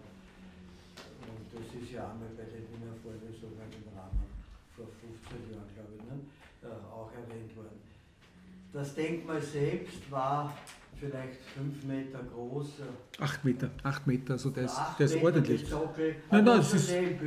Ja, ist- und stand ungefähr in der Linie, also nördlich vom Friedhof, äh, äh, wo das Klo beim Red-Star-Platz, beim heutigen Vogelweidplatz ist, in dieser Linie war es. Und es gab zwei kleine, Ste eine ganz kleine Steinsäule, ganz zart, hinter dem vier Quadratmeter großen Marmortafel, wo, wo die Stadt Wien Beamten sich berühmt haben für die Errichtung der Stadthalle. War so ein kleines Stummel, ich habe das da damals vorgestellt. Und da, dann gab es einen zweiten, etwas plumperen, der ist noch erhalten und der steht hinter dieser Tafel, die dann wieder unleserlich wurde. Jetzt haben wir verlangt, dass wieder lesbar gemacht wird und sie steht in der Nähe der Bei jedem Besuch der, Berufsschule. der Stadthalle kann man es anschauen, nicht? Ja? Der Hütteldorfer Straße, Ja. zur Berufsschule. Ja. Und die Stadthalle ist etwas nördlicher, Ja, ja. oder nordwestlicher davon. Nicht? Das ist diese eine Detailgeschichte. Das zweite ist, natürlich wurde im Rahmen der Tagung der Geschichte der Arbeiterbewegung darauf hingewiesen, dass es politisch nicht sehr zweckmäßig ist, das Gedenken an 1848 den blauen und den alten und jungen Nazi oder Alt-Nazi zu überlassen. Es haben sich auch einige andere gefunden, ich auch Kollegin Feller, die gesagt hat, ja, das war eine gute Idee und so. Ich habe das auch schriftlich gebracht, ist natürlich ohne Antwort geblieben, weil in der SPÖ gibt es keine, wie soll man sagen, üblichen Kommunikationsformen. Man schreibt und dann kriegt man, habe Ihre Schreiben erhalten, man geht den nach oder so. Das ist abgeschafft. Ne? Auch in der Gemeinde Wien, lassen wir das jetzt. Also das ist das Zweite. Und das Dritte, das Zweite, was, das Zweite, was ich ergänzen möchte, wie das Kolosseum, äh, ein großer Veranstaltungsraum neben der Marie-Hilfer-Straße, Schwendermarkt, Schwenders Kolosseum. Wie also dort die letzten Resteln niedergerissen wurde, äh, da war doch der Bezirksrat und Nationalrat Medved, habe ich zum Ernstler gesagt, es wäre schön, wenn man dort eine Tafel macht und auch daran erinnert, dass 1848 äh, auch Marx in war. Er war ganz Nein, nein. Moment, dass, dass wir jetzt das nicht durcheinander bringen. Nicht, also Marx hat äh, gesprochen, also beim Engländer, nicht im Demokratischen Verein, das war also da vor dem Ja, Schottentor, nicht. und in den Streuselseen vor dem Arbeiterverein. Arbeiterverein. Also das habe ich auch ein Bild da drinnen im Buch. Wer das Josefstädter Theater kennt, also kennt natürlich auch die Streusel-Säle, nicht? Und das war also ein sehr vornehmes äh, Lokal. Äh, Beethoven hat ja äh, zur Weihe des Hauses dafür so komponiert. Und äh, äh, das zeigte sich also, dass die Arbeiter, sie wollten ja auch also mit Herr so angeredet werden, sich also mit dieser äh, äh, Proletariatsrolle äh, nicht begnügt haben, nicht? Und sich eben dort, das in den Streuselsälen also versammelt haben. Dort also sprach Marx. Und gesagt, und das Koloss- und das Kolosseum- bringt, war 1867, nicht? Also der, der Gumpendorfer Arbeiterbildungsverein, ja, nicht? Also diese, es, es war auch ein Arbeitertag. ja, ja, ja, Nach der 40er Ja, ja. Ein Arbeitertag Ja. auch im Kolosseum. ja. Und wenn man dort schon eine Tafel anbringt, dann weil beim, beim Theater in der Josefstadt, sonst wo wird man kaum an den Karl Marx erinnern, dann habe ich halt gedacht, man könnte schon, wenn man erwähnt, dass dort 1848 ein Arbeitertag stattgefunden hat im Kolosseum, könnte man auch schreiben zu dieser Zeit, wo auch Marx in Wien. Warum erscheint mir das wichtig? Weil Marx erkannt hat, wenn man schon Wahlen fordert, dann muss man auch gebildete Wähler haben. Und er hat sich eigentlich nicht sehr freundlich über die Wiener auslassen und ihr politisches Bewusstsein. Und ich persönlich glaube, dass es Viktor Adler und vielen anderen doch eine gewisse Lehre gewesen ist, dass sie dann zur Erkenntnis gekommen sind, wie Viktor Adler selbst formuliert, Wahlen zu gewinnen ist wichtig, aber Sozialisten zu erzielen ist noch wichtiger. Und es ist ein Zeichen für den Zustand unserer Zeit.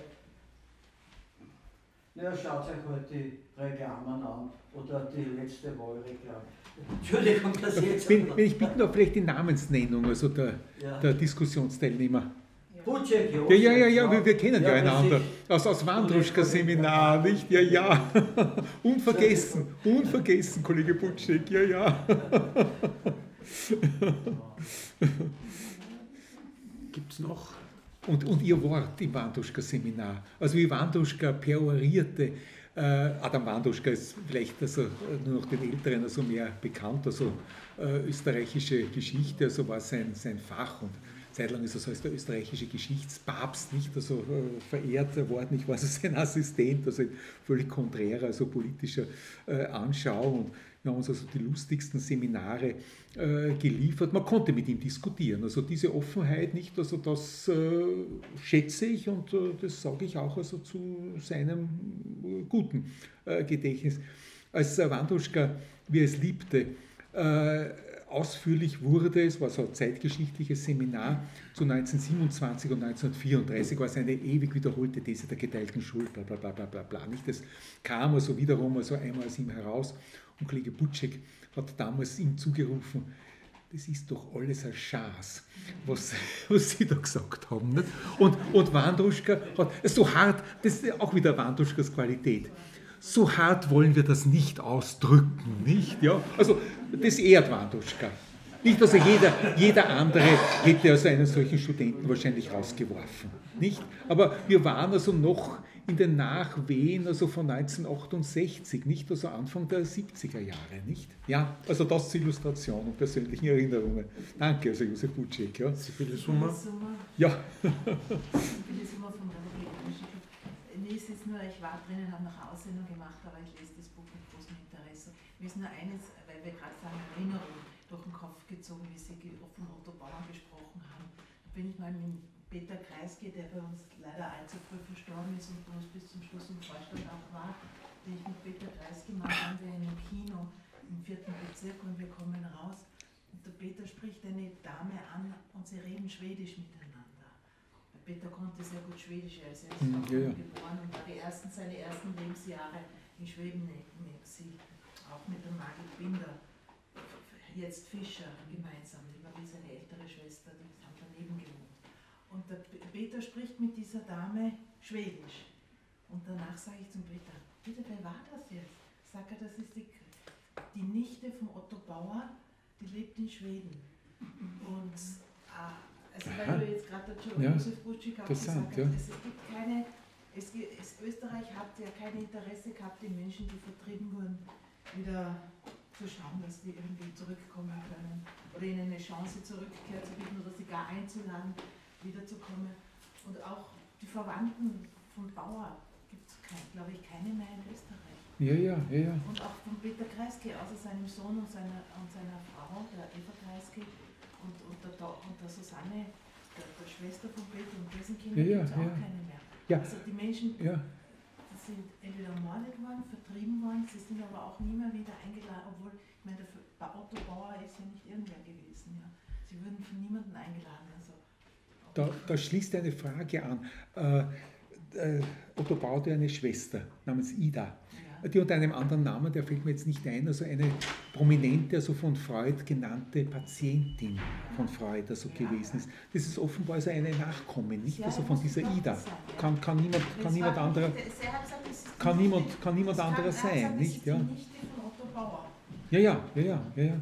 Ich meine, was, was das Exil betrifft, äh, die Namen wurden ja am Anfang genannt, Walter Grab, Ernst Wangermann, ich würde noch die Edith Rosenstrauch Königsberg hinzufügen, Natürlich, ja. äh, denen, die ja alle ins Exil mussten, ähm, denen haben wir ja quasi die Grundlagenforschung der, der Jakobiner, der sogenannten Jakobinergeschichte zu verdanken. Also die haben äh, die, die Basisarbeit geleistet, auf der dann alles, also im Exil quasi ja. ist das, das republikanische Österreich hat dort weitergelebt oder aus dem Exil ist dann die Forschung gekommen, wo man dann hier anschließen konnte, weil alle anderen haben dann erst, Die Edith Rosenstrauch war dann da, nicht? Ist ja, die Mutter. ja, die ist ja zurückgekommen, ja, ja, die von der Ja, ja. Hesel. Aber das Und die ist, Tochter, ja, ja. genau, also die ist, die ist zurückgekommen, so wie viele äh, jungen Mitglieder der kommunistischen Partei, um hier quasi die, die Reihen wieder zu füllen der vielen ermordeten, im Widerstand umgekommenen Kommunisten in Österreich. Ähm, das waren die einzigen, die zurückgerufen wurden. Aber nicht von Österreich, sondern von der. Nur ein Zwischenruf zu Jakobiner. Es gibt ein wunderbares, historisch gut formuliertes Stück von Otto Lackmeier, der leider durch den Gehirnschlag äh, niederliegt, und dem Conny Hannes Meyer, und das heißt, des, des Kaisers treue Jakobiner. Jakobiner. Bitte schaut euch das an, es ist im Internet, der Vorwort ja. von Conny Hannes Meyer, er lebt noch in Wien, leider auch schon sehr gezeichnet, aber es ist im, im Internet und es ist komplett verlinkt. Man kann sich in alle Aufführungen und alle Texte von Conny Hannes Meyer durchs Internet verlinken. Ja, ja. Und also, es ist auch eine wunderbare Idee für einen Geschichtsunterricht oder für eine Schüleraufführung. Nutzt das bitte, da sagt es. Das war also die Vorgeschichte, ich habe das mal recherchiert, dass überhaupt das Café Hebenstreit, dass überhaupt der Name wieder bekannt war, war natürlich die ORF-Vorführung. Also es wurde alles im ORF ja. dann gezeigt, äh, nach einer äh, Club 2-Diskussion, glaube ich, zum Thema. Kuno Knöbel sage ich dann. Genau, Kuno Knöbel. Ja. Äh, und, und wie dann, sie, also 1989 zu 200 Jahr Feier diese Räumlichkeit auch bezogen wurde, hat man den Link gesucht und der Hebenstreit war quasi. Diese Namensnennung ist natürlich uns nicht ganz zufällig, das Hebenstreit, dass wir das Hebenstreit benannt haben. Und weil wir genannt haben jetzt noch den Kuno Knöbel, der leider auch schon gestorben ist. Ja. Er, war, hat nicht, er war nicht nur der Leiter des Club 2s, Erfinder. Der Erfinder des Club 2 ist dieses Konzept, als ja. Programmverantwortlicher für Unterhaltung. Also wünscht, auch die Sendung Wünscht dir was war und auch die Idee dieses Pferdes war von ihm. War von Tatsächlich, das wusste ich nicht, ja. Von Kuno Knöbel. Und das ist zwar nach einem Entwurf, nach einer Skizze vom Redlitschka, aber natürlich hat der Redlitschka das nicht mit Hammer und Meißel selbst gemeißelt, sondern ja, nach, also. nach, einem Gedanken von Fred Simmerwatz, nach einem Entwurf von Alfred Redlitschka. Und dann steht, äh, nach, kostümiert von Manfred Teix, der hat die Markkappe gemalt. Und, äh, und dann steht, ähm, es steht zwar hier der Peter Turini oben, aber es war der Kuno Knöbel, die bei einer Sitzung im Volkstheater, im Wiener Volkstheater, äh, also über den Spruch von Fritz Hinowatz, er nimmt zur Kenntnis, dass nur das Pferd dabei war bei Waldheim. Ja, ja, bei der Hat, hat der Riedlichka mit, mit rotem Stift eine Skizze gemacht und der Kuno nimmt diese Skizze, geht zum Dr. Häusler von den Vereinigten Bühnen Leeds und geht zur Bühnenwerkstätte und lässt es im Auftrag der Gruppe Neues Österreich Damals hat der Republikanische Club noch, war bekannt unter dem Namen Neues Österreich, Gruppe Neues ist, aber steht oben produziert von der Gruppe Neues Österreich. Hat das eben, natürlich war das nicht, hat das nicht der Silvio Lehmann, der Peter Kreisky und der Ron Rabinowitsch selbst geschnitzt, sondern das ist ein hochprofessionelles Bühnenobjekt, das von der Bühnenwerkstätte der Vereinigten Bühnen in unserem Auftrag gemacht wurde. Und deshalb steht das hier und geht hier und da mal zur Veranstaltung. Aber sonst hat es hier sein. Das war eben der Kuno Knöbel, ja. Das war eben der, nur war der damals beim ORF und konnte da auch nicht so prominent in der Öffentlichkeit genannt werden. Aber die Idee, diesen Gedanken, eine, eine, eine, ein Symbol zu geben, einer Bewegung der Gruppe Neues Österreich, ein Symbol zu geben, das war der Kuno Knöbel. Und ohne ihn gäbe es dieses Pferd. Ja. Eine, eine kleine Bemerkung dazu. Ich habe also nicht nur den Conny Hannes Meyer erwähnt, sondern auch den Otto Xonschitz, der aus seiner Schule hervorgegangen ist und der damals im Jahr 1974, also das Plakat habe ich da reproduziert und auch also den, den Text also dazu, eine großartige Revue. In Berlin und Wien ist das also gegeben worden, äh, produziert hat. Äh, Zongschitz ist also vor einigen Jahren also gestorben, nicht? Also Hannes Meyer lebt noch, also hoch hochbegabt, aber Zonschitz ist gestorben, habe ich persönlich kennengelernt in Wien und das Zweite ist, muss ich jetzt an meine äh, Brust äh, klopfen, ich glaube, ich bin ein wenig schuld an einem Witz, der also die Runde dann äh, gemacht hat. Es ist immer die Frage, über solche Witze in Bewegung setze. Und den Sinowatz erwähnt, das Pferd also war bei der SA, bei diesen unendlichen Querelen im Rahmen des HGÖ. Also ich habe mich ja zum Schluss also äh, nur noch geärgert also über äh, das Ganze. Sie wissen nicht, also, äh, es ist ja auch in die Öffentlichkeit gedrungen, wieder zurückgestuft also und, und beschnitten worden ist.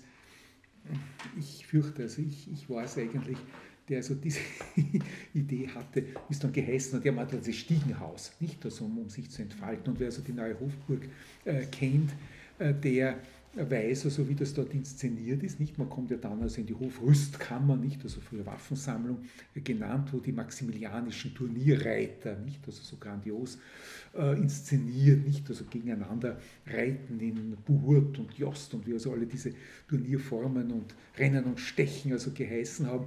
Und der Vorschlag, äh, man könnte vielleicht also das Hrdlitschka-Waldheim-Pferd gegen in dieses Turnier hineinbringen. Es ist so, ja, über die hat uns schon gefragt, wir werden das nur für eine Ausstellung, die dann von November ja, bis ja, ja. April ja, ja, aber, sein wird, nur für den Zuge im Zauber der Ausstellung, ja. unter der Vorlage, dass man es aber jederzeit wieder abziehen kann, wenn es politisch missbraucht wird. Also wenn dann der Strache kommt und das Pferd streicheln will, dann äh, also dass man das dann, das, wenn man dann in die Ausstellung für diese... Aber bleiben wir vielleicht doch also auch bei diesem Witz, nicht? Also dass man es dann so in dieses Turnier nein, der österreichischen Geschichte... Nein, das kommt nicht rein. Es, Solange es den Pferdestall gibt, also den republikanischen Club nur aus Österreich es ist, nicht, es ist ja auch unser Logo. ja, Logo. natürlich. Ja. Solange es diesen Pferdestall gibt, geht es nach Hause in den Pferdestall nach der Ausstellung wieder. Außerdem wissen wir nicht, ob wir nicht einmal wieder auf die Straße gehen müssen und das Pferd aufstellen und so weiter. Ja. Es ist ja noch nicht Geschichte. Es ist, es ist ja, Sie ein, haben sie als, lebendige, es als ist Logo ein, bekannt. ein lebendiger Club. Es ist, kein, ja. es ist noch kein historisches Objekt, sondern es ist noch im Einsatz. Und wenn es den Club dann mal nicht mehr geben sollte, weil wir das nicht mehr brauchen in Österreich, weil die Aufklärung sich durchgesetzt hat und die Erkenntnis, ja, dann äh, kann man nur immer reden, wo, in welches Museum oder wo, wo es sich dann sein Plätzchen findet. Aber noch ist das Pferd aktiv. Bitte. Äh, ich, ich bin ein mittelmäßig kritischer Zeitgenosse und habe als Pensionist etwas mehr Zeit, historische Literatur zu lesen. Und was mich so sehr erstaunt und womit ich Sie konfrontieren möchte, das ist, dass wie wenig präsent die ungeheure Brutalität ist, die 1849 sich über die Habsburger Monarchie ausgebreitet hat. Ja. Diese ungeheure Brutalität, mit der auch 1915 bis 18 äh, sozusagen unsere Urgroßväter, Urgroßväter verheizt wurden in einem quasi industriellen Krieg, äh, und auch die große Brutalität äh, der Hetze äh, der Klerikofaschisten des Ständestaates von, 19, von 1925 an bis ins 34er Jahr, die Brutalität natürlich des 34ers, das ist so wenig präsent bei durchschnittlich lebenden Österreichern. Auch, auch bei mir als eher kritisch Lebender sehe ich das jetzt erst, wenn ich wenn ich Ihre Bücher lese oder andere Bücher, auch das Schwarzbuch der Habsburger lese, erst da wird man konfrontiert mit Dingen, die in der österreichischen Geschichts... man kann nicht sagen österreichische Geschichtsschreibung, sondern österreichische Geschichtsvermittlung. In der österreichischen Geschichtsvermittlung wird eigentlich mit großem Erfolg so ein liebliches Operettenbild gezeichnet, wobei ich bin immer erschrocken, wenn ich diese Bücher lese, was da an Blut fließt so grauslich. Ja, es ist also, danke also für, für die Ergänzung oder Zustimmung. Äh, man kann das ja vielfach ergänzen. Also Im Buch steht natürlich auch, auch mehr. Also ich habe äh, erwähnt nicht, also die 13 Generäle von Arad, nicht, also die Ungarn, äh, also jedes ungarische Schulkind, also da gibt es so Merkverse dafür, kann also die Namen also der 13 hersagen, die also da zu Tode gebracht worden sind, teils gehängt, also teils erschossen, nicht, also einer der Hingerichteten, also die pochten auf ihre Offiziersehre, nicht, hat also den Richtern entgegengehalten. Ich habe meinen Eid gehalten. Der König hat ihn gebrochen. Nicht also diese Offiziere, die zum Teil also äh, gar nicht der ungarischen Sprache mächtig äh, gewesen sind. Also sie kamen ja aus dieser gemischten äh, Offiziersgeneration. Äh, die haben den Eid auf die ungarische Verfassung vom April 1848 äh, geleistet und die wurde also vom König und vom Hof und immer so brutal äh, von der Militärgewalt also äh, gebrochen. Nicht? Man hat erklärt, das widerspricht der pragmatischen Sanktion, nicht also weg äh, damit und hat also den Feldzug also mit dem Banus Jelacic eröffnet. Und daraus entstand dann also diese ja so verhängnisvolle Zuspitzung des Konflikts, die in den allgemeinen Untergang geführt hat. Man könnte das also noch weit ergänzen. Also Lajos Batjani, dessen Namen ich genannt habe, war der ungarische Ministerpräsident von höchstem Adel, nicht?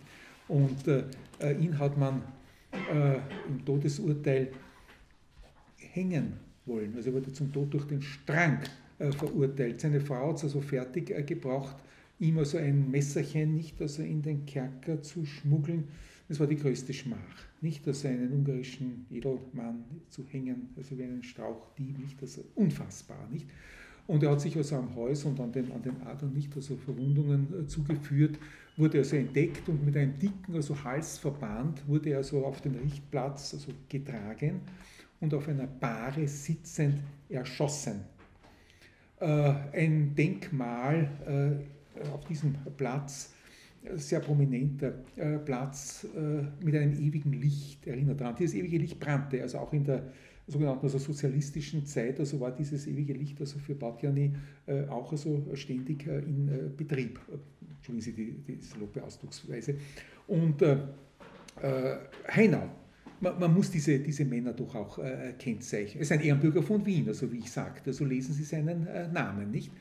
Äh, er war ein Psychopath, nicht? Also ich will jetzt nicht also seine Lebensgeschichte erzählen, also Sohn eines unehelicher Sohn, also des eigentlich auch schon also verrückten, also Kurfürsten von Hessen mit einer jüdischen Apothekerstochter, nicht, die man dann also so in eine Kadettenanstalt äh, hineingepresst äh, hat. Er war ein militärisch hochbegabter Offizier, nicht, also äh, Radetzky hat ihn hochgeschätzt, auch von ihm gesagt, man äh, möge mit ihm äh, verfahren wie mit einem Rasiermesser nach dem Gebrauch wieder ins Etui zurückgeben. Das hat man nicht getan. Man hat ihn wüten lassen in Italien, Hyäne von Brescia ist also eingegangen in die Geschichte der Unterdrückung des Risorgimento, hat Frauen also auspeitschen lassen, nicht? Und hat also bei dieser Hinrichtung von Batjani dann den ausführenden Offizier gerügt, dass er nicht gehängt habe wie im Urteil, es wäre nicht gegangen, nicht, dass man ein Mensch so ein Hals verbaut hat, wie soll man ihn denn hängen, sondern ihn erschossen hat. Ja, also solche, solche Kaliber, nicht also waren damals unterwegs. Und ist Ehrenbürger von Wien. Ehrenbürger von Wien. Lesen Sie das also das nächste Mal, nicht also wenn Sie in den Rathaus hinausgehen. sind sehr honorige Leute, klarerweise. Nicht? Das ist niemals revidiert äh, worden. Nicht Heinau, nicht? Also der furchtbare Heinau und im, im äh, Heeresgeschichtlichen Museum steht er äh, mit also Windischkeit Jelacic Radetzky, dieses Wir, nicht, dass sich die Offiziere in die Säbelklingen haben gravieren äh, lassen, am Treppenabsatz. Nicht, also wenn Sie von der Feldherrnhalle hinaufgehen in die Ruhmeshalle, nicht, dann kommen Sie an diesen vier Herren also vorbei. Heiner, nicht, an seinem enormen, also Schnurrbart, also kenntlich. Ja? Also das geht noch über den Radetzky-Marsch hinaus, nicht an Traditionspflege. Ja? Vielleicht ganz... Ist das Frage, ja. ist das in den anderen europäischen Völkern auch so üblich, Geschichtsverlieblichung, wie wir es im österreichischen österreichischen kaum haben und auch Das ist schon eine, eine, eine, eine Singularität. Nicht, dass eine, ja, eine, eine, eine, vergleichbare Hohenzollern-Nostalgie, also gibt es doch wirklich, wirklich, wirklich nicht. nicht? Bitte? In der DDR hat es schon ein bisschen Tendenz gegeben. Äh, in welcher Hinsicht meinen Sie? Die Hohenzollern Nein, nein, nein, nein im, Gegenteil, im Gegenteil. Aber ich meine, die, die DDR hat also auch erstaunliche Dinge an Traditionspflege geleistet. Das ist, ist jetzt anders gelagert, aber ich habe auch also den Theodor Körner drinnen. Äh, der Großonkel also des äh, gleichnamigen und wohlbekannten also Bundespräsidenten, Theodor Körner, der Freiheitsdichter. Also Schauen Sie in eine beliebige Wühlkiste von einem Antiquariat, so finden Sie seine sämtlichen äh, Werke. Nicht? Also Theodor Körner ist ja noch vor der Völkerschlacht also von äh, Leipzig nicht? Also gefallen, nicht? Also beim Anbruch, nicht? Also der Befreiungskriege, das Volk steht äh, auf, nicht? Also der Krieg bricht los, was dann also Goebbels äh, zitiert hat. Äh, und äh, ein Heros, nicht? Also für die Jugend, also Lesebuchgedichte waren ihm gewidmet.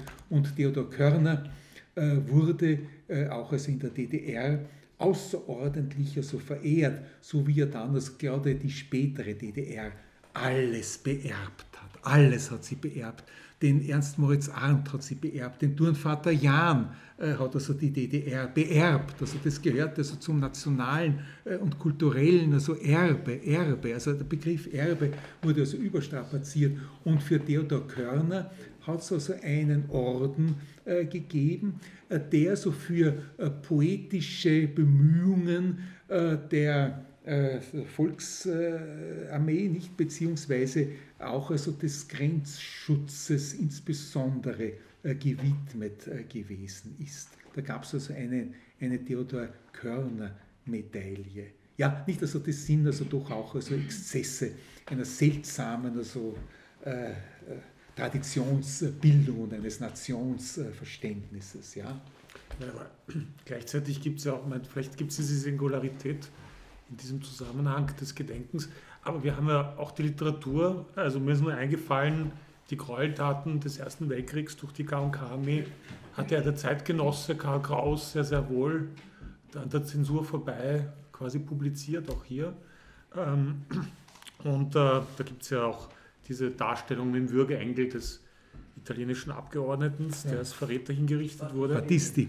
Genau, Battisti. Ja. Das von die Spitz, ja. Und das, ähm, also österreichischen Abgeordneten. Also, aber ähm, was vielleicht auch nicht uninteressant ist, also diese Literatur wird da teilweise auch vergessen, genauso wie auch die Literatur bei den Wiener Jakobinern, also wie der Blumau und so. Aber es gab Ende des 19. Jahrhunderts, gerade was 1848 betrifft, einen sehr spannenden quasi der Erfinder des Feuilletons, sagt man immer, und äh, den Friedrich Schlögel, ein, ein enger Freund von ja. Ludwig Anzengruber, der sehr spannende Beschreibungen des, der Märzgedenken im späten 19. Jahrhundert als Anhänger auch dieser republikanischen Idee und auch Bekämpfer damals des Antisemitismus eines, einer jungen Generation eines Hermann Baas am Anfang. Nicht? Und dieser Friedrich Schlögel, da gibt es zwei Kurzgeschichten, nämlich die 1848er, Alte wo, 48er. Also wo die daherkommen zu diesen Gedenken, also ja, die ja. letzten Überlebenden und diese Republik, also die natürlich nichts, also sehr, also Gefängnis, alles erlebt haben, Exil und dann wieder in Wien sind und dann halt dann aus ihren Wohnungen kommen und und dann gibt es aber auch eine zweite Geschichte, die aber auch interessant ist, woran man auch selten erinnert, auch an die Täter nämlich. Es eine zweite Geschichte, die heißt die 1849er. Mhm. Und das sind nämlich die Spitzeln, die Denunzianten, die, die, Denunzianten, die halt quasi 49 alle, der war dabei und der war auf der Bring. Und die so haben wie, ja, dieser, wie dieser Josef Weil, den ich Ihnen als Typus mit dem Vierzeiler gekennzeichnet habe. Und die waren aber nicht sehr beliebt, also er beschreibt ja. das auch, dass die nicht sehr beliebt waren. Also das war nicht so, das waren nicht die Helden, ja, so wie vielleicht dann heute in der politischen Diskurs von manchen Parteien irgendwelche alten Nazis, sondern die waren also in der Bevölkerung nicht gerade die, also sie haben zwar gut gelebt, weil sie auch belohnt wurden für ihre, für ihre quasi äh, Spitzelei und ihre, ihre Zubringerei von Informationen. Äh, und die beschreibt der Friedrich Schlögl auch. Den kennt inzwischen, also Ludwig Anzengruber kennt man noch, äh, aber den Schlögl und die waren ja, ja sehr enge Freunde. Eine Neuauflage. Ja, ja. Gab es, also es gab einen Residenzverlag, ja, ja, genau, Wiener Blut, also das ist das einzige von ihm Bekannte, das, seine Kurzgeschichtensammlung Wiener Blut, das ist ja der, die Grundlage für den Walzer, nicht? Also der Titel hat überlebt, aber ja, ja. Also nur so weit. Also es gibt schon Gedenken, aber halt immer unter Intellektuellen, unter den Künstlern, Künstlerinnen und den Literatinnen. Äh, immer versteckt. Also auch, auch Martin Brandstätter, also der, der gestorben ist, wie wir erwähnt haben, also seine Gedichte wurden ja auch von Schubert vertont. Und er hat schon gewusst, wen er da vertont. Mhm. Ja. Also die waren ja, die waren ja präsent. Ja. Aber die, der offizielle Staat, auch in der Republik, gut, in der Ersten Republik war es nicht wirklich möglich, ja, weil die Meisling gibt es ja Schlögegassen. Ja, ja, ja, es und, auch. Und Brandstätter, also darauf weise ich auch hin und bilde es auch ab, hat eine Gedenktafel in Wien und zwar, wenn Sie in die offene untere Turmhalle, also des Rathausturmes eintreten, finden Sie die. Dort ist eine Gedenktafel für Martin Siebenbürger, das war der Anführer der ständischen Opposition gegen den Regierungsantritt, also der äh, Ferdinands I., nicht aus im 16. Jahrhundert, Wiener Neustädter Blutgericht, als der einer unter so manchen, also Wiener Bürgermeistern, die also so in diesen habsburgischen Wirbel, nicht, also der Bruder Kämpfe auch hineingeraten ist, hingerichtet worden ist, dieser Martin Siebenbürger. Und da gibt es auch eine Tafel für den Magistratsrat, äh, Martin Brandstetter, das war er, ist noch ein relativ junger Mann oder Mann in den besten Jahren, und äh, gewidmet unter Bürgermeister Reumann von den sozialdemokratischen Magistratsbeamten. Die Tafel wurde also prompt, nicht also 1934 also entfernt, aber dann äh, wiederum also angebracht und äh, erneuert. Ja, ja bitte. Brandstetter.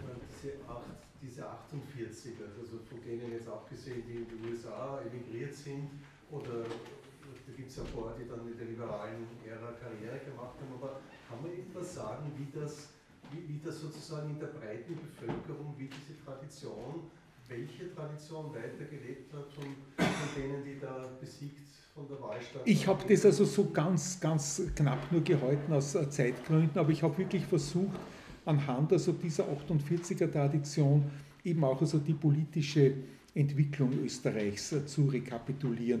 Und man sieht also wie Schritt um Schritt und die Schritte werden also immer rascher und immer größer und geradezu so sprunghaft das Bürgertum also sich verabschiedet.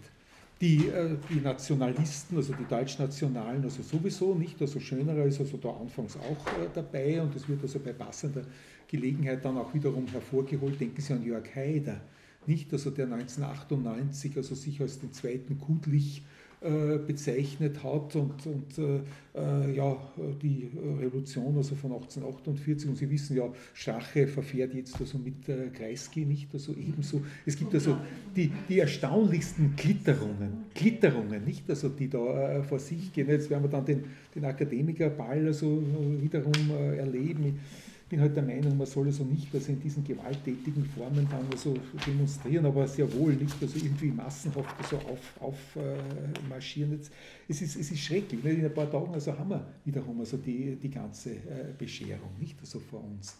Aber jetzt sind wir bei der Politik ja, aber, ja, ja. Dienstnahme, das war nicht meine Frage, sondern die Frage ja. ist sozusagen so ein riesiger Aufstand mit, mit ein paar äh, einigen tausend Beteiligten, wie das 10, 20 Jahre danach im kollektiven Gedächtnis es, man hat versucht, also wirklich auch eine Damnatio Memoriae. Nicht also diese Austreibung, das gab auf dem äh, äh, Schmelzer äh, Friedhof, wurde ja platt gemacht. Es wurde also ein Weg darüber äh, geführt äh, und also Sand darüber, nicht? Und es hat also härtester Mühe äh, bedurft, um das also wiederum also sichtbar und in Erinnerung zu rufen und zu machen. Das war natürlich schon ein großer zeitlicher Abstand. Nicht? Also 1864 nach unendlichen also Querelen äh, wurde äh, das äh, dann so endlich äh, errichtet, also der Obelisk. Und die Generation also von 1898, ja, die haben da so keine Erinnerung mehr gehabt, also der Arbeiter. Das ist ja ganz klar, also eine 50-jährige Erinnerung, also das echte Jubiläum, nicht? Also heutzutage, äh, die Zeitungen haben jetzt geschrieben, ein einjähriges Jubiläum von Donald Trump. Nicht? Also das ist ja lächerlich. Also einjähriges ist kein Jubiläum.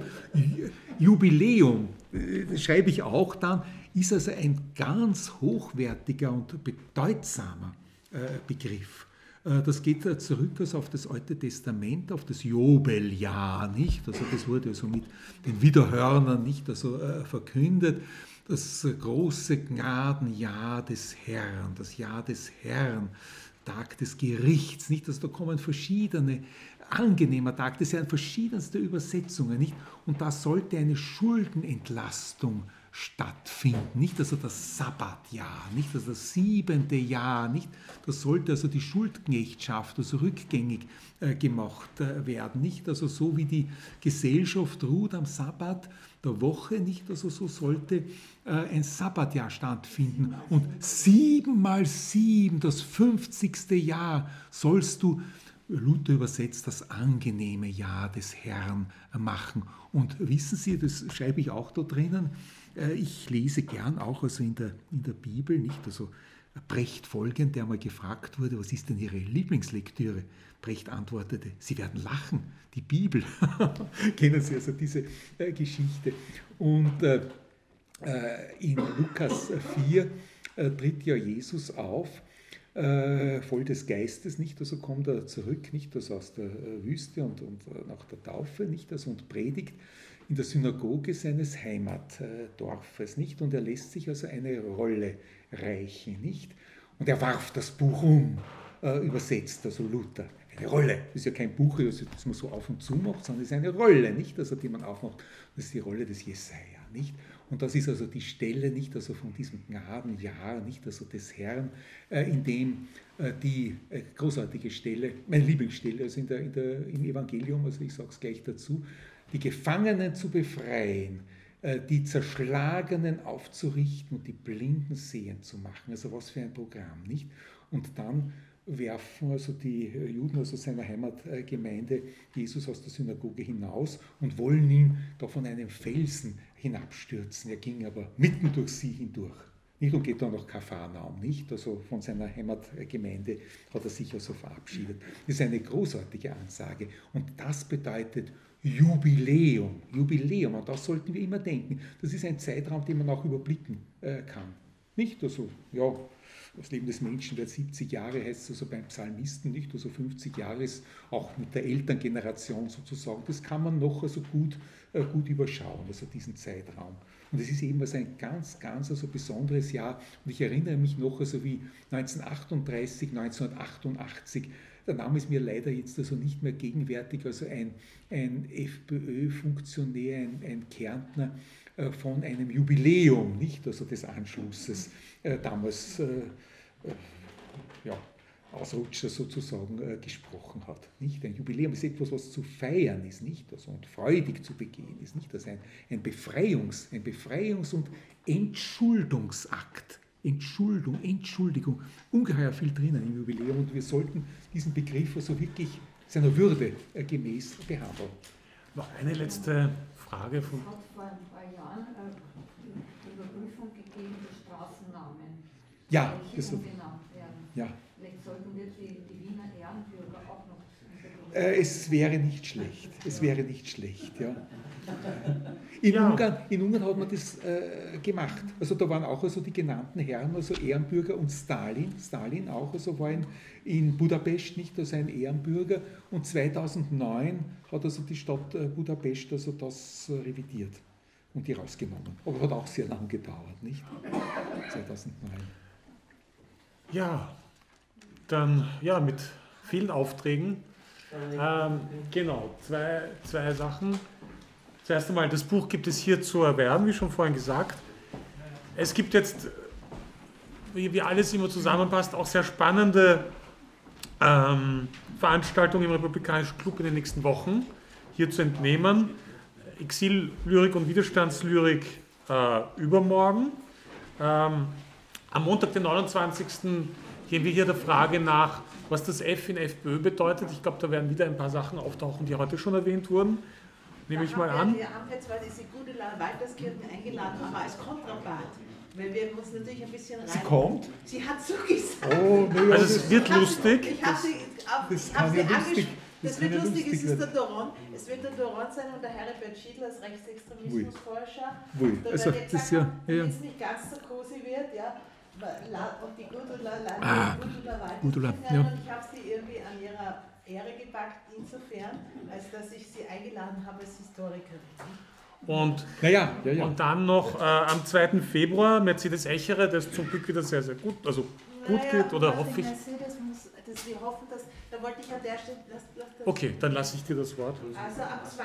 Februar ist es ist zum einen in Memoriam Ute Bock die gestorben ist, wie wir alle wissen, Mama Bock ist, lebt nicht mehr, ähm, wird es ähm, um 17 Uhr ein spontanes Memorial gegeben am Heldenplatz, nicht? um 17 Uhr. Ja. Äh, das ist in Facebook angekündigt und geht durch die Decke als Lichtermeer. Wir würden aber empfehlen, wir würden aber empfehlen, keine Fackeln mitzunehmen. Nein, Offenes Feuer, Kerzenwachs. Ja, und jeder dann Plastik an kann, ja. Blinker, also Fahrradlichtblinker oder Handyblinker, dass man mit dem Handy kann man ja auch leuchten mit dem Fahrradblinker.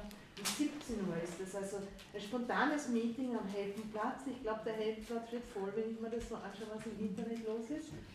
Und äh, es nennt sich Lichtermeer für den Bock. Und danach um 19 Uhr gibt es die Lesung aus Originaltexten von Irene Harand.